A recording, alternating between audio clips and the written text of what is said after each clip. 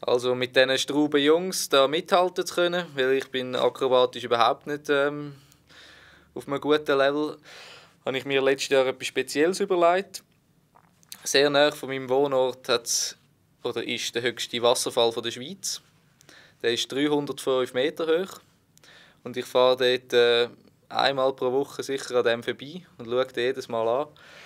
Und dann habe ich gedacht, als Kennenist muss man einfach den höchsten Wasserfall der Schweiz gemacht haben. Und so war es dann auch. Ende letzten Jahr sind wir eingestiegen, mit etwa 50 Bohrhaken im Gepäck, über 400 Meter Seil dabei und haben dann den Wasserfall in Angriff genommen.